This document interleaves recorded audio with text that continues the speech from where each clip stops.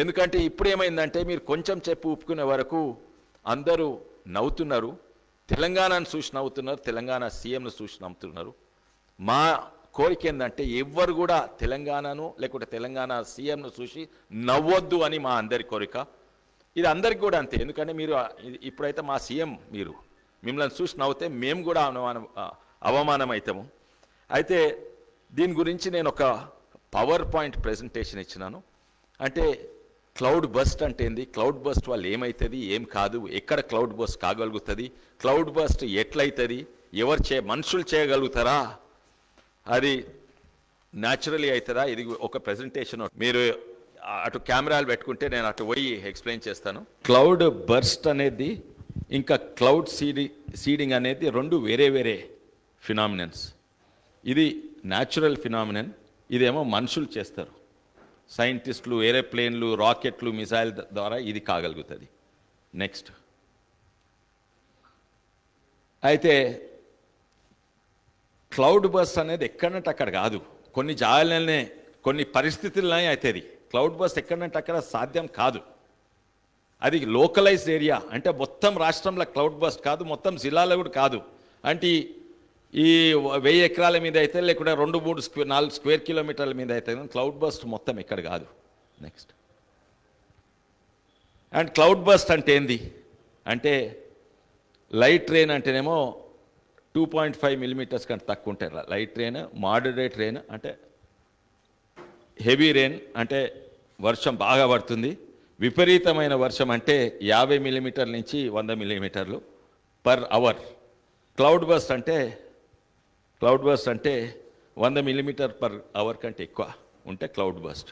ఇంకోటి cloud burst ఓసారి అయితే అది గంట రెండు గంటలనే అయిపోతుంది. అది దినం మొత్తం పడదు సాధారణంగా. నెక్స్ట్ అయితే ఇది మాన్సూన్ సీజన్ అంటారు వానకాలం. వానకాలం నుంచి సౌత్ వెస్ట్ గాలి ఇట్లుంటుంది. ఆ గాలిలు కింది భాగంలో ఉంటాయి. భూమికి ఎత్తుండయి. వానకాలంలో ఉన్నాయి మేఘాలు. మేఘాలు కూడా ఎన్నో రకాలైన మేఘాలు ఉంటాయి వానకాలం మేఘాలు కిందికుంటాయి. అండ్ దాంట్లో తేమ ఎక్కువ ఉంటుంది అయితే అటు దిక్కు నుంచి గాలి ఆ అటు దిక్కు నుంచి ఇటు ఉన్నందుకు మేఘాలు కూడా అక్కడి నుంచి ఇటు పోతుంటుంది. కానీ ఎన్నోసార్లు మేఘాలలో నీళ్ళున్నా తేమున్నా అది వర్షంగా ప్రెసిపిటేట్ అయ్యి కింద పడదు. అది అయితందుకు ఏదో కారణం ఉండాలి.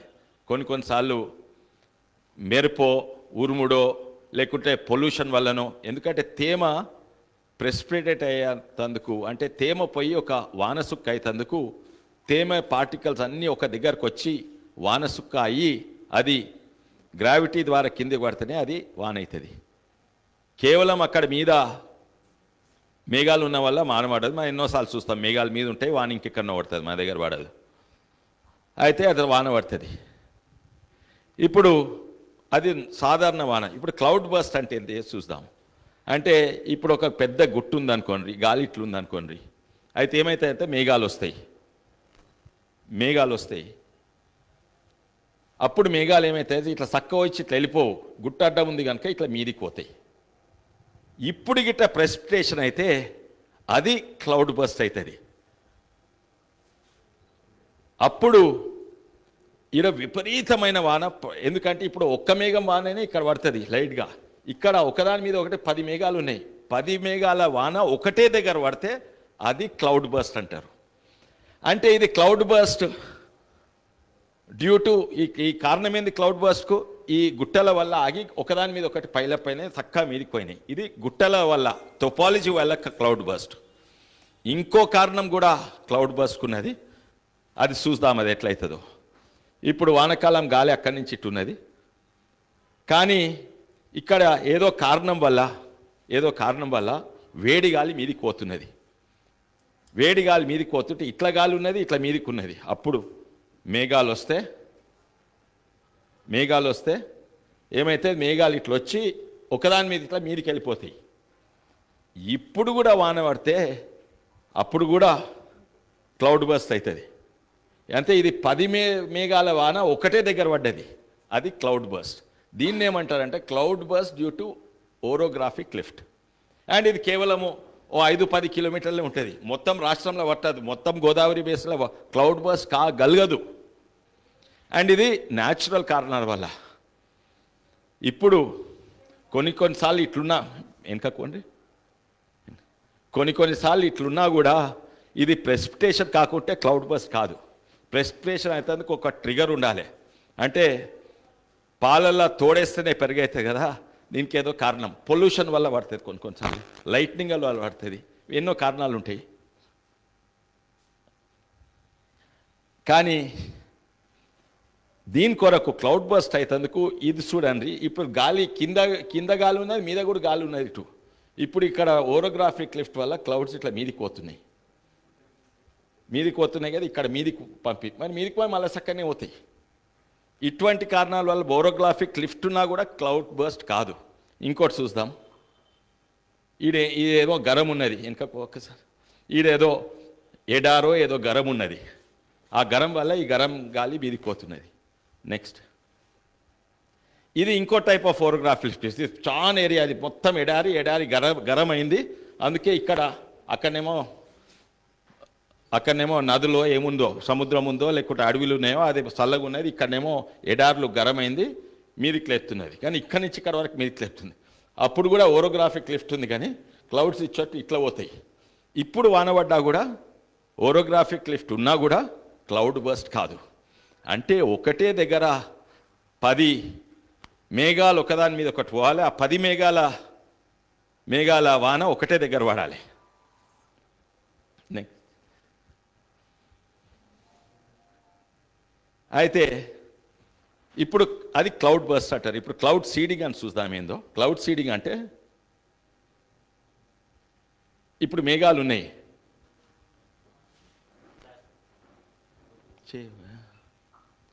అయితే ఏరోప్లేన్లో పోయి కొన్ని సిల్వర్ అయోడైడ్ అనే ఉప్పు లేకుంటే పొటాషియం అయోడైడ్ అనే ఉప్పు ఎన్నో కెమికల్స్ ఉన్నాయి. అది పొగ ద్వారా ఇడుస్తారు. అప్పుడు ఏమవుతాయంటే ఈ పొగ దీని మీద పోయి సన్న పార్టికల్స్ ఉంటాయి. అది ఇందులో ఉన్న తేమను ఒక దగ్గర తీసుకొచ్చి ఆ తేమను వానసుక్కగా తయారు చేస్తే అప్పుడు వాన పడుతుంది. అప్పుడు వాన పడుతుంది. ఇది సాధారణ అప్పుడు ఎంత వాన పడుతుంది? అప్పుడు క్లౌడ్ బస్ట్ ఉండదు. క్లౌడ్ సీడింగ్ వల్ల వాన పడ్డది కానీ ఇండ్లు ఎంత ఉంటాయో గంతే పడుతుంది. అంటే క్లౌడ్ సీడింగ్ అంటే సన్న పొగ తీరుస్తాడు. నెక్స్ట్ కానీ ఇక్కడ కూడా క్లౌడ్ ఇక్కడ ఇట్లా ఒకదాని మీద ఒక జమైనప్పుడు జమైనప్పుడు చేస్తే అప్పుడు క్లౌడ్ సీడింగ్ వల్ల క్లౌడ్ బస్ట్ అవుతుంది అప్పుడు మళ్ళీ అదే విపరీతమైన అంటే వంద మిల్లీమీటర్ల కంటే ఎక్కువ ఉన్నట్టుంది నెక్స్ట్ ఇట్లున్నా కూడా ఇది కూడా క్లౌడ్ సీడింగ్ చేస్తే ఇప్పుడు కూడా క్లౌడ్ క్లౌడ్ బస్ట్ అవుతుంది క్లౌడ్ బస్ట్ మొత్తం గోదావరి బేసిన్లో కాగలగదు. ఇంకోటి ఏంటంటే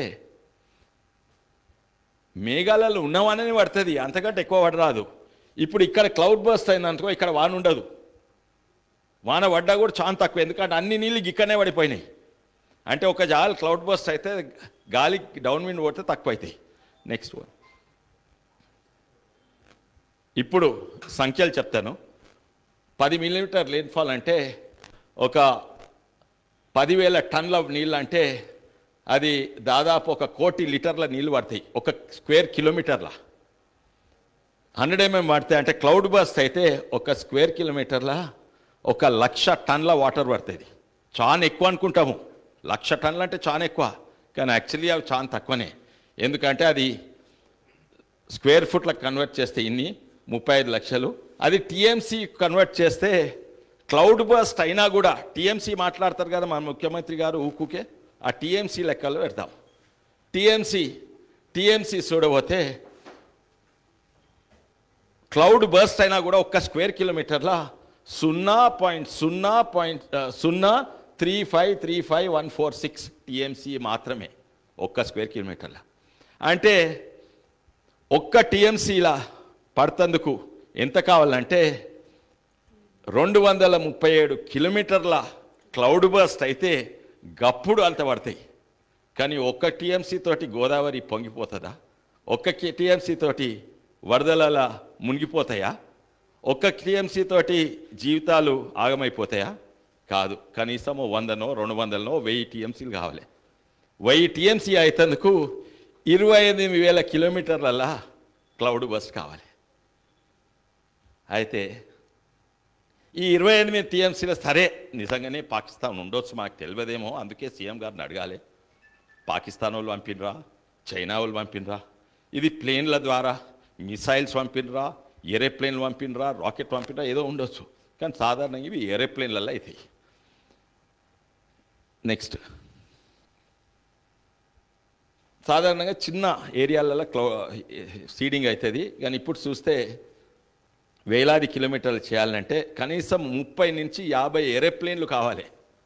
ముప్పై నుంచి యాభై ఏరోప్లేన్లు దినాం పనిచేయాలంటే దానికి ఒక సీక్రెట్ ఎయిర్ బేస్ ఉండాలి. ఆ సీక్రెట్ ఎయిర్ బేస్ ఎక్కడుంది?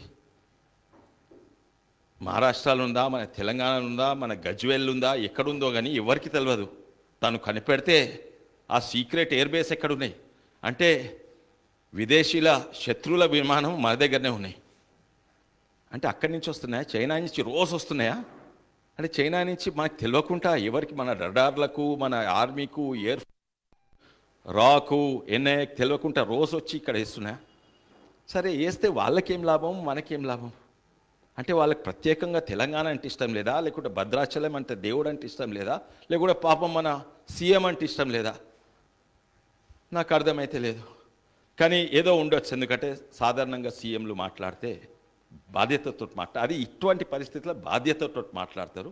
అందుకే సీఎం గారిని నేను కొంచెం మీకు ఉన్న ఇన్ఫర్మేషన్ షేర్ చేయమని అడుగుతున్నా.